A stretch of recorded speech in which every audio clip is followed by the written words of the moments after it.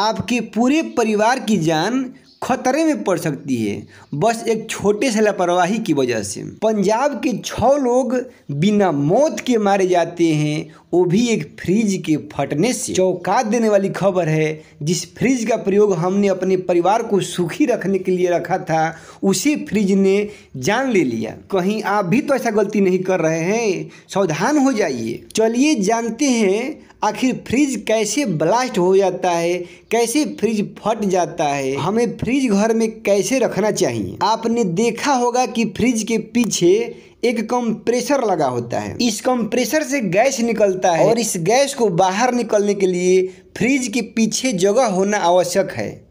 लेकिन हम क्या करते हैं? अपने फ्रिज को दीवार से सटा कर रख देते हैं। यही वह गलती है जिसकी वजह से कंप्रेसर फट जाता है और फ्रिज ब्लास्ट कर देता है। अगर आपके फ्रिज के कंप्रेसर से बहुत ज़्यादा आवाज़ आ रहा हो तो तुरंत अपने फ्रिज का सर्विसिंग करा लेना चाहिए। चलिए देखते हैं कि अपने घर में फ्रिज को कैसे रखें ताकि कोई भी दुर्घटना न हो। ये फ्रिज है और इस फ्रिज के ये साइड जो है, इधर भी छोड़ा गया जगह। इसमें आप देख सकते हैं कि इसमें काफ़ी जगह छोड़ा गया है।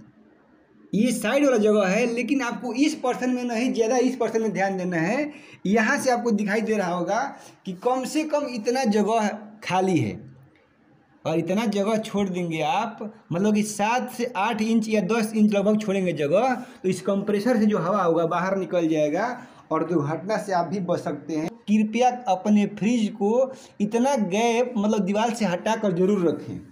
ऐसे रखने से आप दुर्घटना से बच सकते हैं तो फ्रिज को कभी भी ऐसे इतना दीवार से दूर रखना चाहिए।